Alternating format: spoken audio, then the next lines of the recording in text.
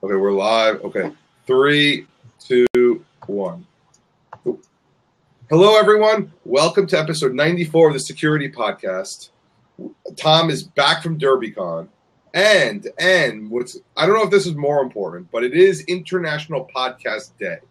So we are celebrating something about the podcast. I mean, I don't know necessarily what it is, but maybe we'll become more powerful, more viewers, more everything else. Yes. Yes to all of that. Yeah, all of it. Because Why I mean, limit ourselves? I mean, podcasts are one of those things that everyone seems to talk about, but no one ever seems to download. So they're like, "Yeah, I listen to all these podcasts." Well, can you name one? It was that thing that NPR did that was really good. Yeah. I, I even forget the name, but I hope they do it again. Oh, you mean Serial? Yeah. So what else are you going to listen to? I don't know, just that. But I listen to podcasts. So I'm here to tell you before we get into DerbyCon, go listen to podcasts. There's a lot of them. We li- I like Pocket Casts. They're three or four dollars. Buy it. You're it's worth it. And they always have a good discovery feature. We've been on there. So and and find other stuff. Get rid of the commercials. Get rid of the terrestrial radio, I guess as they call it, and and do something better. If uh, if you're looking for something open source on Android, I use AntennaPod. I really like it. Uh, it's kind of buggy from time to time, but it gets the job done. So, well, whatever it is, even the Apple Podcast app, which is horrible, and they don't deny the fact that it's horrible, at least you're doing something. So, Right. support your podcasting person. Anyway, so you went to DerbyCon last week, Indeed, I did. And, And just like last year, it was fantastic. well, that's great. It just it goes to show that security conferences so far were two for two on the fantastic, fantastic scale. Yes, very much so. So, was there anything earth shattering? Or, I mean, did we learn how to hack new cars or? Uh, no, nothing, nothing earth-shattering on a global scale. Some stuff that's really interesting that I want to play with, dig in deeper. Um, it's not when when you go to a security conference, it's not so much, um, you know, a, a press event for normal people. Uh, I guess Black Hat and DEF CON, some of the talks are more geared towards just getting the word out in a big way. DerbyCon's not really like that. It's more you know, security professionals, hackers, pen testers, um, not really into the breaking news kind of business. There was some cool stuff there, don't get me wrong, uh, but nothing that, uh, you know, has absolutely blown my mind. Well, at least you. I mean, it, there's nothing. Well, at least you go to the con- the conference part, but you get to see all the same people, right? It sounds like all the same people from DEF CON and Black Hat just show up, and Yeah. and so now you get to talk more in depth about everything else, which is always the best part of it. Oh yeah, very much so. Uh, there's there's a lot of collaboration. There's a lot of people working with each other to do stuff. There's a lot of partying. You know, I, just like with DEF CON, it's always a party. Um, but uh, there's there's good stuff. Uh, and DerbyCon isn't all hard technical talks, not at all. Uh, there's a bunch of stuff on social engineering, which was fantastic. I went to a lot of those talks. There's a lot of stuff on, hey, uh, you're a developer or you're an IT manager. Here's how to make other developers or your users uh, more secure. Here's how to teach them about security, push them in a proper direction. Well, look, that's that's always a good thing. It's always good that, again, I kept on saying this at DEF CON. Everyone wants to be more secure, but no one's there to say how to do it the right way. Right. And, and I guess it's because you're talking to the experts. Everyone's an expert that goes there, and you're never going to get you're never going to get the person who leaves the front door open to go to a security conference. In fact, they'll probably say, "Oh, you're a bunch of hackers, and evil goes on there," rather than anything else. Uh, I, you know, I, I don't want to. DerbyCon is a really, really friendly place. I don't want to uh, put out that it, everyone that goes there is an expert. I certainly don't consider myself an expert. I consider myself, you know, knowledgeable, but um, you know, I, I am not a, a pen tester in my day job. Uh, I'm not writing exploits. I'm not deconstructing shell code. Uh, there are there are people there that are way smarter than me, and there are people in there that don't really know a whole lot about security, but they wanted to learn, so they came. uh, in DerbyCon, and everyone there really accepting of everyone as long as people want to learn and they're interested in something. Well, that you, I mean, I think everywhere is like that for the most part. I haven't been to too many security conferences. I don't think I've been to any where people have said, "I don't want to help you, go away."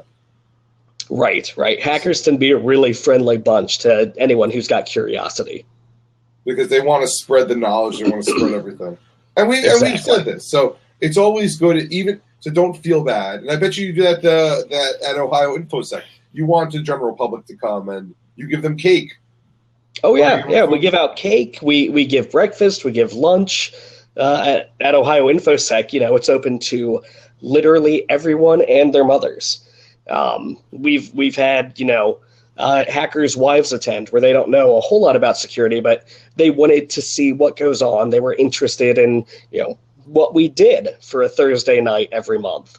Um, so they came out to the group, they learned a bunch, had some discussions. It's always a good time. So if you had to, so you're at DerbyCon, you're partying it up. You posted in the show notes one of the things. Is that the main thing that we learned? How to train the users?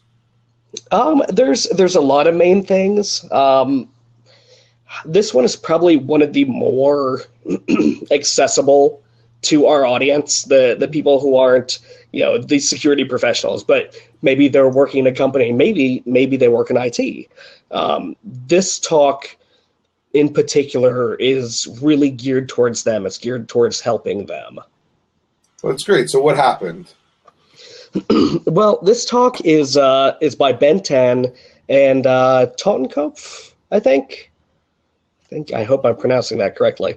Uh, anyway, um, those two gave a great talk called "How to Change the Way Your Users Respond When the Bell Rings," uh, and it's it's basically how to, just like with Pavlov's dog, how to train your users to do the right thing when security stuff happens when they get the pop-up that says hey download this thing uh, when you know the drive-by download uh, drops a Java file and it says, oh, hey, you should probably run this super security update or we'll cancel your email account. Um, they go into how do you craft a security program in an organization, in a business that trains users to respond properly given the, you know, given a security stimuli. Well, that's good. I mean, it's always hard to explain to people when they send you an attachment and you say, "Hey, why didn't you look at it?" Well, somebody told me never to download attachments. Right. And you can't say, "No, that's not true," because to be honest, it's probably better that you walk over a USB drive at that point. But you want them to say, "Hey, you want them to understand the difference between the, uh, the right attachment and the wrong attachment." And I think that's harder. So everyone just says, "Don't download the attachment." Right, right. Uh, they they do go into that. They go into the yeah. We we give a lot of rules. We expect people to have common knowledge that you know of knowledge that we expect to be common knowledge. Like uh, use a password manager. Don't use the same password everywhere. Don't use your your dog's name as your password. You know stuff like that. But in reality, normal people don't operate that way. They don't think that way. They've got a job to do and security slash IT tends to be, you know, the ban hammer, tends to say no, tends to be condescending when they come out with rules or suggestions or acceptable use policies or it basically treats their users like children.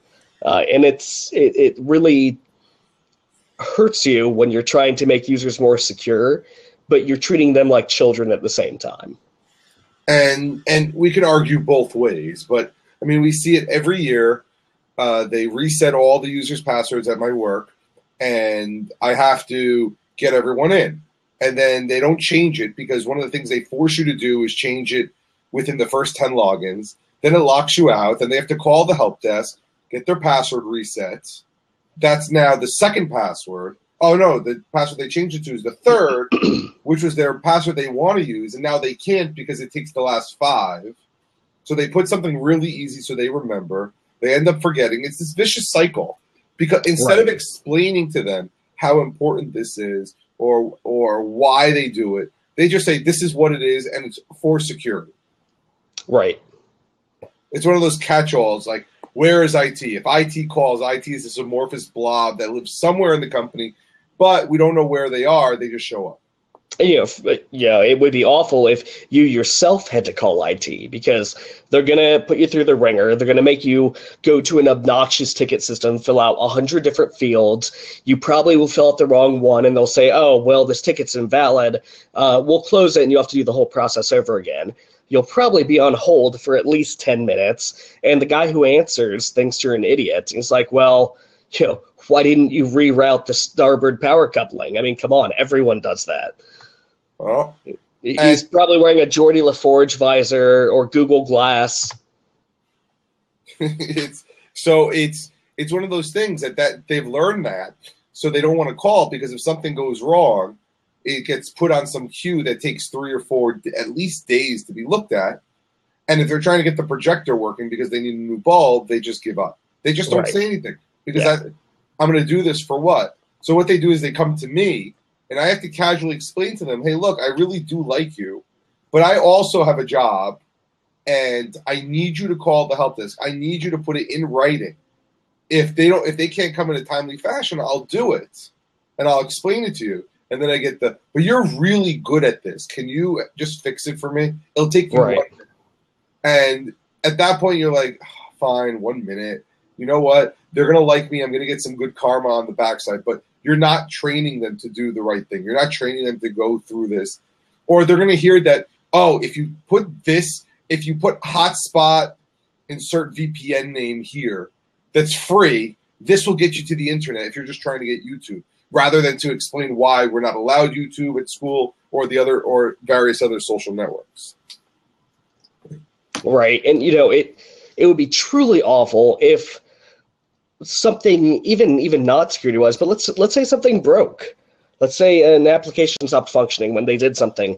Or in the worst case, let's say they did download an attachment, they double clicked on the, you know, invoice.pdf.exe file, and now their system starts behaving weird or getting slow or pop-ups happen everywhere or some remote control stuff starts happening in front of them right? Do they want to call it no.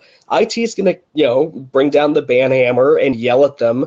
Uh, in certain companies i've heard of you know it firing people for uh, infractions like that. Uh, it's absolutely ridiculous. Um, so they, they don't want to call it because they're afraid they'll get in trouble so you know, sweep it under the rug and, and hope nobody looks.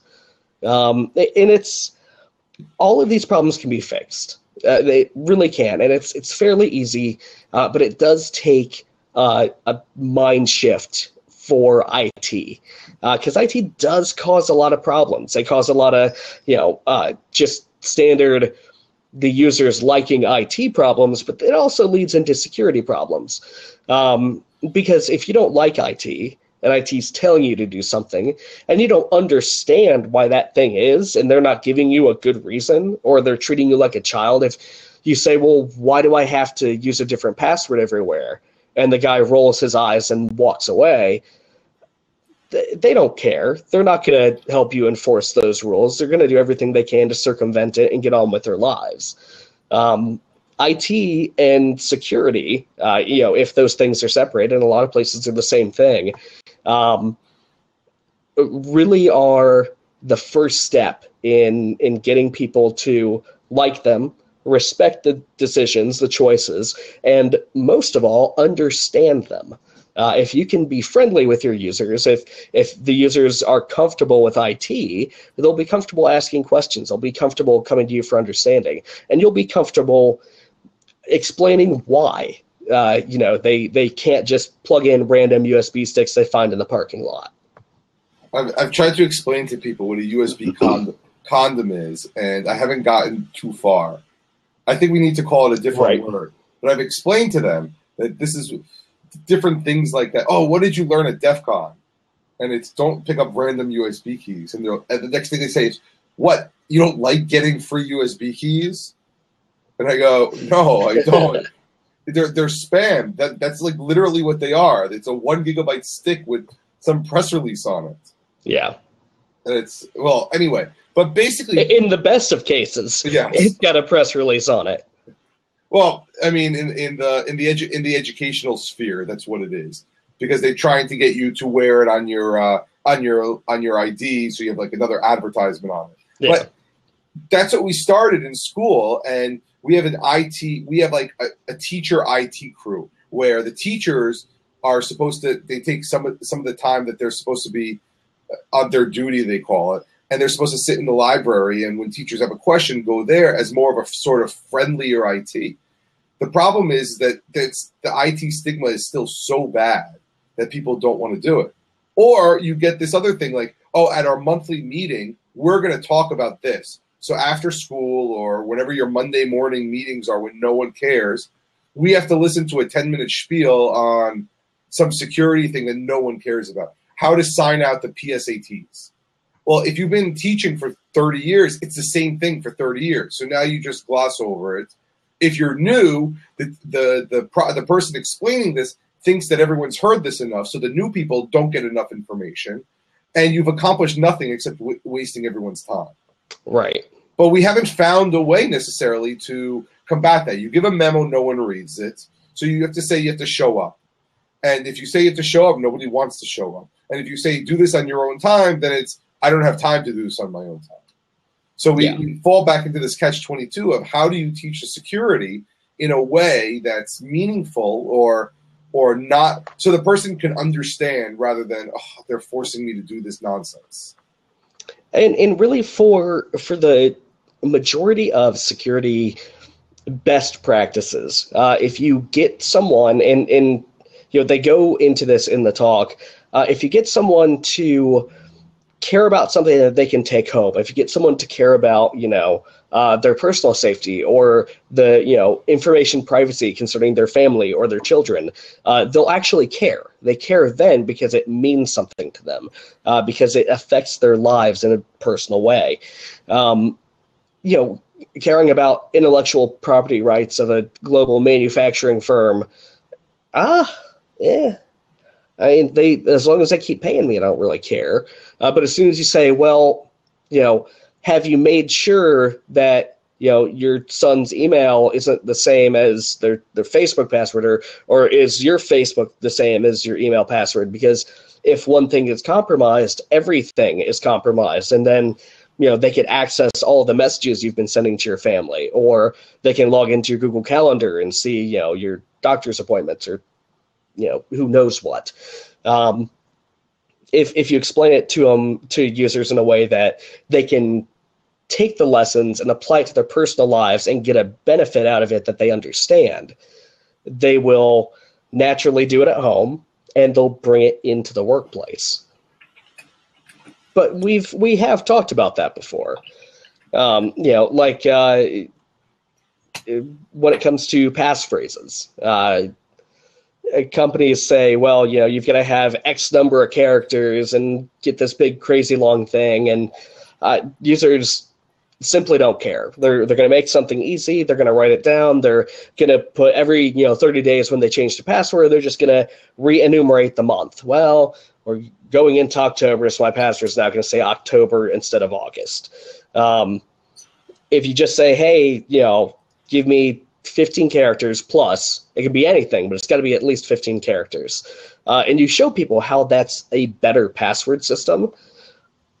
uh, They'll take that, they'll use it at home, they'll use it at work, and all of a sudden you've decreased the amount of calls to the help desk, and your users like you because you've made something more simple and technically better. until and and I absolutely agree with the password until they go somewhere and they're met with this horrible JavaScript form that says, "Oh, you have too many special characters." Right. And then now, and I didn't believe this. I I, I explained this to my dad, and he's and he's really good at listening. He gets it, but he doesn't want to follow it because he says, "But this website requires my this," and you go, "How could it be?" And you go there, and they're like, "Yeah, we need at least eight characters, four numbers for this." Uh, only these special characters, dollar sign underscore, but none other. Right. And you're like, and you're like, because I used to tell people and put dot and then your favorite TLD. So make your password something, whatever it is. So if it was your dog's name, uh, fluffy.com will make you so much more secure. Even though now that the cat's out of the bag, there they're going to put that on the top of the, the rainbow table. But choose another.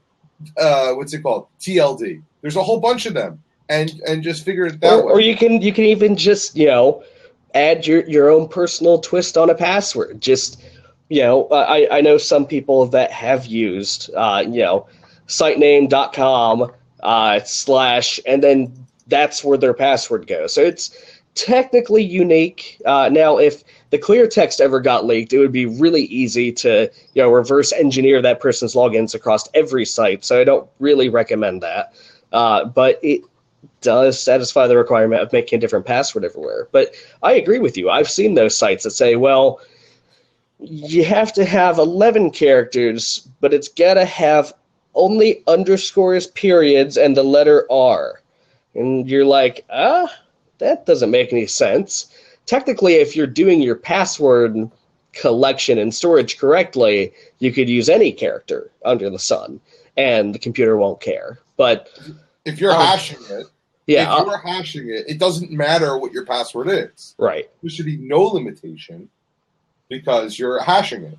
But you know that that brings up a good point. They actually cover that in the video, um, and that that gives you, uh, as the IT or security person, and your users something to bond over, um, and something to explain. Like, well, the reason, the technical reason behind it is because this. You don't have to go into the te- the technical reason. Even you can just say, "Uh, I know." They're not doing it the right way, and they should be, and they're bad human beings for it uh, and and you can just hate on you know site X Y Z um, for for creating that awful awful password form. It's it's like like we've been saying, it's too hard. Everyone is too busy to sit down and understand why the security matters until it's too late, or some sort of breach happens to them, and then they start caring. Right. And unfortunately, so so it just this won't happen to me until it does, and then when it does, the world ends, and no one's willing to listen to you because it just happened to you. Oh, my credit card got stolen, and and uh, they charge thousands upon thousands of dollars. And I go, well, what did you do about it? Somebody's drag racing out your window. They really are. It's like uh, somebody charged tens of thousands of dollars, and I don't look at it as, oh, I'm sorry you were inconvenienced. It's like now somebody has to insurance write off that claim of ten thousand dollars because you were really bad with security. Right. I mean, yes, and credit cards do get stolen randomly, and and most of the time it's not any one person's fault because at least credit cards we think of back at a time where you were responsible at least for uh, at least fifty dollars. Mm. Now it's at zero, but it used to be fifty dollars or hundred dollars or something like that. And losing a wallet with six cards meant that you were out three hundred dollars. Well, one one thing to keep in mind um, is that you know when it comes to security, when it comes to teaching people things, uh, punishments don't work that well. Uh, they're they're not really effective. They're not the most effective way of teaching someone. The best way to teach is rewards. Uh, do you remember when Google put out that uh, security assessment, and if Yes. you went through it and enabled two factor, you got like two extra gigs of Google Drive or five or something? They said- Absolutely. They said, "Hey, you made your Google account more secure. Here's this thing. Monetarily, it doesn't really cost us anything because we are made of storage. Uh, but you know, I know you'll like it, and I know you're going to tell other people to make their accounts secure so they can get free stuff too. That is great. I imagine the amount of two-factor, uh, you know, users on Google skyrocketed during that week of that promotion. It's fantastic. Uh, ben Ten in his talk uh, goes into um, into this. Uh, as, trying to think of the uh, good word for it. Essentially, a contest for his users, um, where he said, "Hey, in your day-to-day job, if you see something that could be a security vulnerability, something that could be exploited, report it to IT, and you'll get points. And at the end of a month." The person with the most points gets a Visa gift card of X number of dollars which is fantastic. It got people thinking about security constantly because it's a game at that point, because they can win something, because there's money on the line. They think, huh, how could I? They start thinking like a hacker. How could I destroy this system? How could I bypass controls? How could I use this thing in a way it wasn't intended to be used? And they're not and they're not afraid of doing something wrong because Right. IT told them do this. Whereas if you do something slightly wrong, you're afraid that you're going to be called in and being told that you weren't supposed to do this. Format format the C drive. That was a bad idea, Yeah. and now you're going to be punished. Right, right. Uh, so it, he he said it, it really worked very well. It got people thinking about security, uh, and you know if you hold, it doesn't have to be an everyday sort of thing that would burn people out. But you know if you do it once, twice a year, just to to get people in the mindset of how do I use this system against itself, it would be fantastic. And at least now we're talking computer security, but physical Right. security is also the same idea. Yes. I mean, I, I try to explain to my uh, outgoing seniors that you're going to get to college and you're going to see someone running down in the pouring rain trying to get into your dorm, and they look like a student, they feel like a student, they're carrying like a coffee in one hand and and their phone in the other, and you don't know where their ID is, but you know what? They look innocent, and then you get bombarded with uh, pizza delivery ads Right. and and and you're like, and when you tell them don't let them in, and you're gonna, but but but, and you're gonna say, you know what? It's even though human nature says that you want to be nice, you got to learn to say, hey, look, I'm sorry. Yeah, we we actually uh, back when I was in college, um, that exact situation happened. Except it wasn't pizza ads. Uh, the guy walked away with uh, like two or three laptop computers and a book bag. Um, it was uh, kind of a learning experience for the entire dorm building. Of hey, yeah, it's it's you know human courtesy, and we're just trying to be nice by holding the door for people, but you know, when it comes to tailgating, it does have serious repercussions. Most of the time, nothing will happen, but all it takes is that one time, right? Well, now those people on that floor, I bet you the entire floor will never allow that to happen again. Right. And people will actually lock the doors. I mean that that's the, that's unfortunately what it takes. It takes this really negative event for them to start caring. Right. And if you can try, and that's the hard goal, is if you can recreate that event without something bad happening, then people will start listening. Which is where the reward system comes in. If there was a, you know, a, a contest, maybe like a secret shopper holding the coffee and the phone in the rain, and you know, some guy stops him and says, "I'm sorry, sir, but you have to swipe your card at the door to get it to open. I can't just let you in." And he goes, "Yes, here's you know a hundred bucks to the convenience shop uh, on campus or something." Um, you know, taking potentially negative situations, and when people do the right thing, rewarding them for that.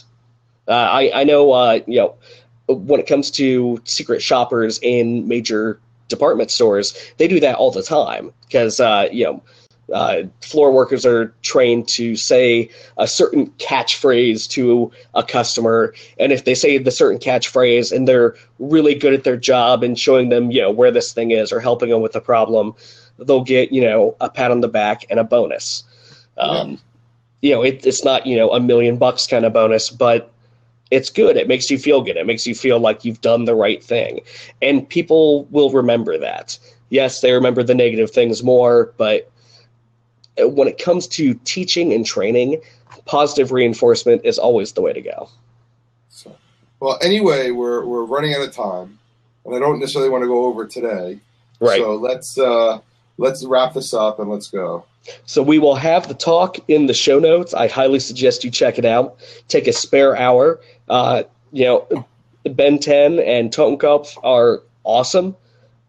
Go watch the talk. Okay, so we will see everyone next week. Have a good day.